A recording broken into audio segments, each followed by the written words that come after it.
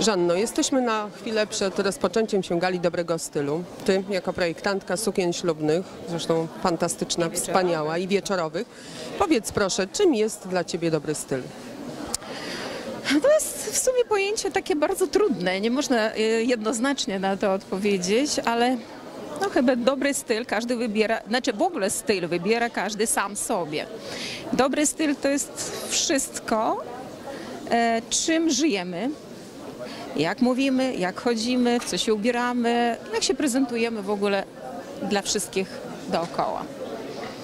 To świadczy o naszym dobrym lub tym złym stylu.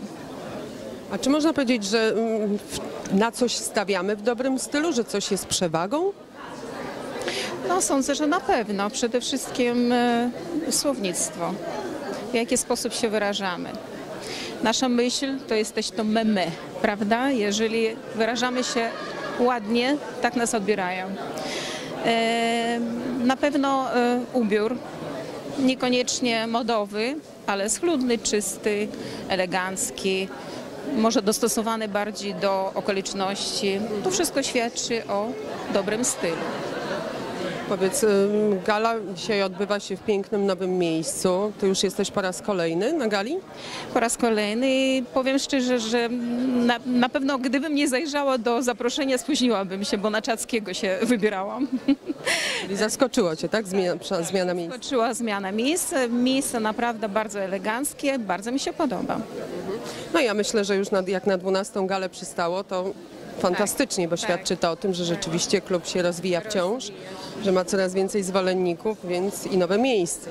Zgadza się, też tego samego zdania. Mm, Więcej miejsc, tak bardziej przestrzenie elegancko. tak Bardziej na- prestiżowo. Prestiżowo, na poziomie. Słuchaj, przed nami Sylwester. Powiedz, czy już się wybrałaś miejsce? Powiesz nam na temat kreacji? Jakie są typy w tym roku? typy mm, bardzo różne.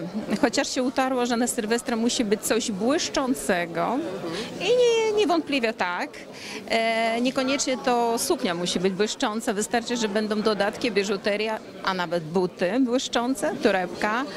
I na Sylwestra możemy iść. Ja dla siebie oczywiście już przygotowałam, ale do em, okoliczności niepolskich, bo wyjeżdżam do Włoch. A tam no, moda jest naprawdę na bardzo wysokim poziomie, więc musiałam się przygotować. No i jestem przygotowana oczywiście, jak zawsze. Czyli w tym roku na Sylwestra błyszczymy, a tymczasem czekamy na galę dobrego stylu. Zapraszamy wszystkich. Oczywiście zapraszamy.